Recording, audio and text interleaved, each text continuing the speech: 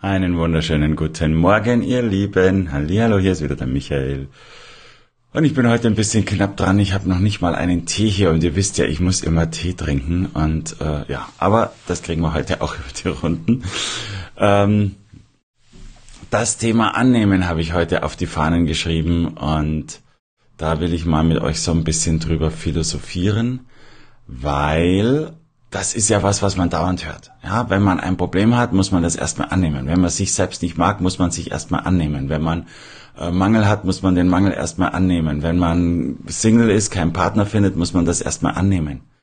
Puh, ja, aber wie genau geht denn dieses Annehmen? Was ist dieses Annehmen? Und wie kann man das überhaupt annehmen, was man eigentlich nicht mag? Und das ist, glaube ich, gar nicht so einfach. Und ich bin mir auch wirklich nicht sicher, ob ich das selber überhaupt richtig kann. Also ich, ja, ich weiß, äh, dass es wichtig ist, ich, ich nutze es auch, aber ich weiß, wie bei vielen Dingen äh, kann man immer nur von sich selber ausgehen und weiß natürlich nicht, wie es andere ma äh, machen und was bei anderen da genau passiert, weil man so Dinge oft schwer in Worte fassen kann.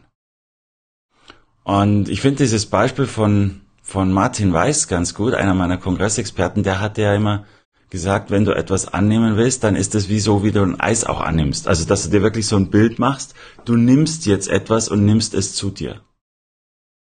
Ähm, ja, finde ich eine sehr, sehr schöne Idee. Und wenn dann jemand sich das visualisieren kann, wunderbar. Denn so kann man Dinge tatsächlich annehmen.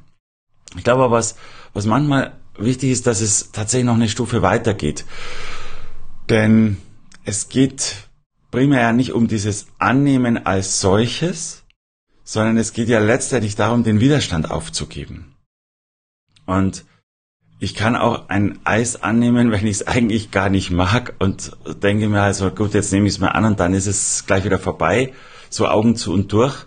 Ähm, das hängt natürlich auch da wieder davon ab, wie nimmt jemand so ein, ein Eis oder eben einen negativen Zustand oder ein negatives Gefühl oder ein, was es immer halt auch ist, wie nimmt jemand das an?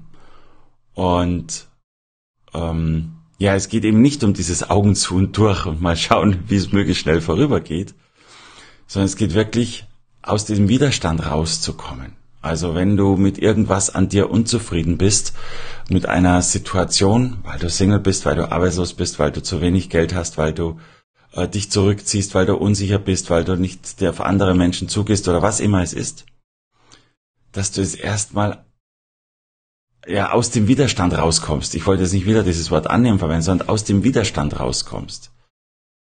Weil das hat sehr viel zu tun mit, mit diesem Grundgesetz zu sagen, worauf du deine Aufmerksamkeit setzt, oder wie, wie heißt das schon? Jetzt habe den Wortsatz. Ihr merkt, ich bin noch nicht ganz wach. Äh, ist halt heute mal so. Also worauf du deine Aufmerksamkeit richtest, so heißt es. Worauf du deine äh, Aufmerksamkeit richtest, das verstärkt sich. Und wenn ich die Aufmerksamkeit auf den Widerstand richte, dann wird der Widerstand und damit die Sache sehr, sehr groß. Und das ist das, was hier ein bisschen gemeint ist mit annehmen. Annehmen soll jetzt ja auch nicht so stark sein, dass du deine volle Aufmerksamkeit drauf richtest, sondern dass du es einfach hinnimmst, so ist es. Und das, glaube ich, ist auch das, was, was, äh, ja, drum, also ich, wie gesagt, ich finde diese Eisidee gut, aber ich glaube, sie ist nicht für jeden passend. Äh, vielleicht ist es eher so wie beim Wetter. Ja, es gibt manchmal grauenvolles Wetter und es drückt auf die Stimmung. Aber das ist genau der Punkt. Wenn du es wahrnimmst und wenn du darauf achtest, dann drückt's auf die Stimmung. Wenn du das Wetter einfach ignorierst, also es ist halt wie es ist, du nimmst es an, du gehst aber auch nicht in Widerstand dann beeinflusst sich nicht. Und so ist es vielleicht ein Stück weit vergleichbar, dass du sagst, okay, so ein negatives Gefühl, so ein negativer Zustand ist wie das Wetter. Es ist wie es ist. Du kannst es im Moment eh nicht ändern. Der Unterschied zum Wetter ist, dass du danach, wenn du es mal angenommen hast, daran arbeiten kannst, wie du es verbessern kannst. Aber eben dann ohne den Widerstand, weil dieser Widerstand eben immer dafür sorgt, dass es stärker wird, dass es mehr Macht über dich nimmt, dass es ähm, ja, dass, dass es der Täter ist und du dich als der Opfer fühlst, als das Opfer fühlst. Und das ist ja genau das, was überhaupt nicht passieren darf, was aber im Alltag so oft passiert, dieses Thema Opferrolle. Wir haben da ja schon ein paar Mal drüber gesprochen. Wir gehen gerne in diese Opferrolle und sagen, ja, das Wetter ist schuld oder eben dieses Gefühl, diese Situation ist schuld, dass es mir jetzt schlecht geht und deswegen wird nichts besser, so ungefähr. Äh, da musst du unbedingt ja, rausgehen, indem du es als erstes mal annimmst. Ja, ja äh, und nochmal, ich, ich glaube nicht, dass man es so gut in Worte fassen kann, was dann tatsächlich in einem drin passiert. Zumindest kann es ich nicht und ich beschäftige mich ja viel damit, so innere Prozesse auch in Worte zu fassen. Aber das ist, äh, ja, unsere Sprache ist begrenzt und generalisiert und beim anderen kommt es eben vielleicht anders an, als man sagt. Das kennt er aus vielen anderen Bereichen.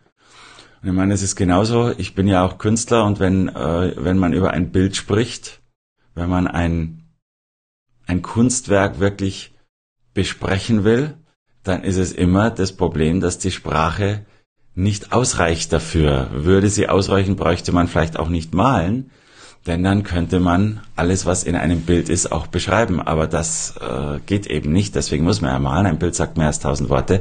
Und so ähnlich ist es mit dem, was in dir drin passiert, was mit deinen Gefühlen passiert, was mit deinen Gedanken passiert. Wir können nicht alles davon in Worte fassen das geht uns ja selber schon so. Also wir, wir denken ja nur vermeintlich in Worten. Tatsächlich denken wir in Bildern, in Emotionen, in solchen Dingen. Und die Worte sind das, wie wir es dann selbst für uns auch übersetzen. Und erst recht natürlich, wenn wir mit anderen drüber sprechen.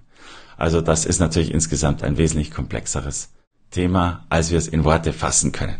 Aber ich hoffe, dieses Bild mit dem Wetter kann dir ein Stück weit aufzeigen, wie das so ist mit dem, mit dem Annehmen und mit dem aus dem Widerstand rauskommen.